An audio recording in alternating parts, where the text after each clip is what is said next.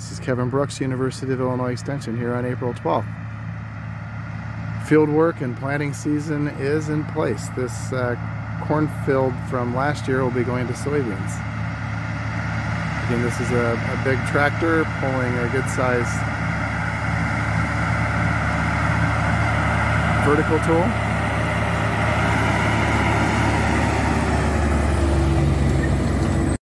Here with an East Central Illinois farmer today. He's going to explain a little bit about what's uh, what's going on this morning on this uh, mid-April day. So. Well, here we have uh, a Krause vertical till. It's called an Excelerator. It uh, it'll work in depths of up to about four inches. Um, in springtime, you want to go shallower than that. Um, so we typically run about two, two and a half. It's a 40 foot tool. It takes uh, every 10 foot of tool takes 100 horse. So this tool will take 500 horse to pull.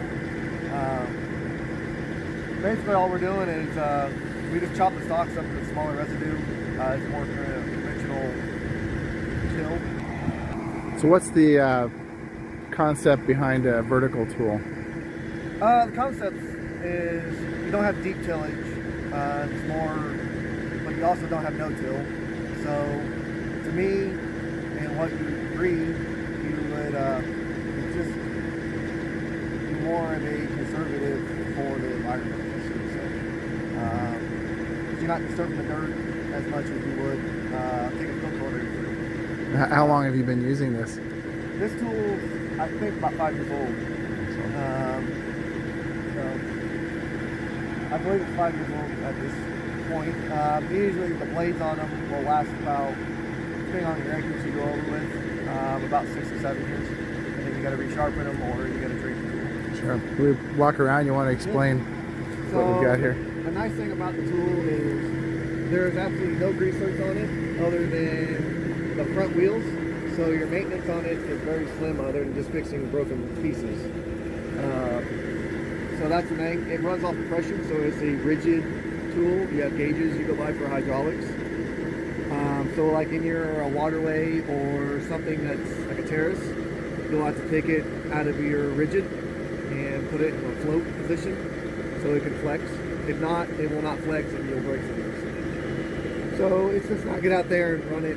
Uh, guess you gotta actually have a little thought process to it. Sure. You want to explain a little bit the shape? Because I think some people remember the old discs with that would throw the dirt. Oh, the concave and all yeah. that. Yeah. Mm -hmm. So this has got away from that. It doesn't throw a whole lot. It uh, just throws enough to disturb the soil. It more shatters it and then lays it right back down. Um, and we can, I can take you out to see a trench and you'll see kind of how it doesn't disturb a whole lot, but it'll, it'll shatter that ground five inches down, but it won't disturb anything other than the top two inches. It's about a 35 acre field you're working on. Yes. how long does it take you to get this done? So I could cover 50 acres an hour. Running, you run about nine and a half to 10 mile an hour.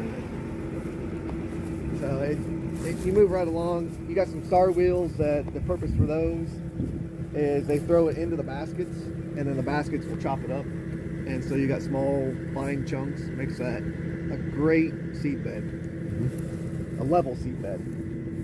Much better than a field cultivator.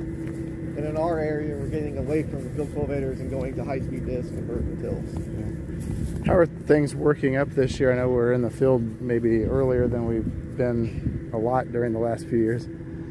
The last go, it's not working too bad. Um, we could use a little bit of rain. Uh, we're getting on the dry side again.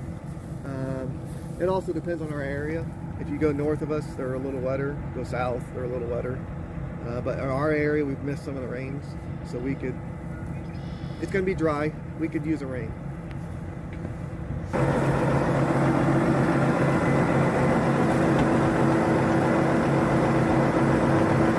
You have your main screen on your tractor. This monitors uh, oil temperatures, oil pressure, uh, coolant, stuff, just stuff like that. Monitors the engine basically. This is all your GPS. So it tells you exactly where you are, your coverage map. You can mark rocks on it, um, your AB, lines, guidance, everything. So, and they communicate back and forth. So, um, most guys, a lot of guys don't have this screen in here. It's just nicer because it's bigger. You can go off of this screen also to do everything. but it's kind of nicer to look at a 8-inch monitor versus a 6. Okay. Um, and then just basically here's all your functions for your controls, hydraulic switches, gears, throttle, and then just your radios and stuff like that.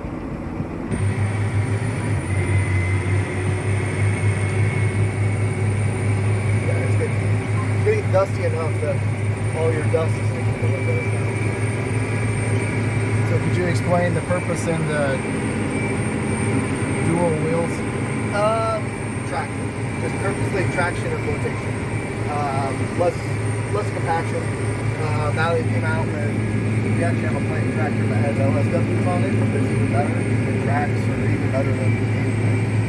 Um, just, uh, it all comes down to money the.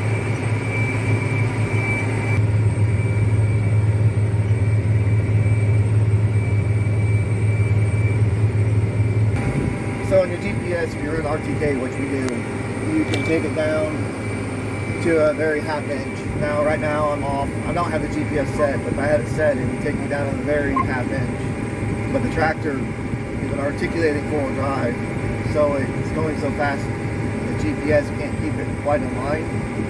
So it'll vary one to two inches, um, which is big when you plan, of course. So you got to have something that's going to stay in a straight line.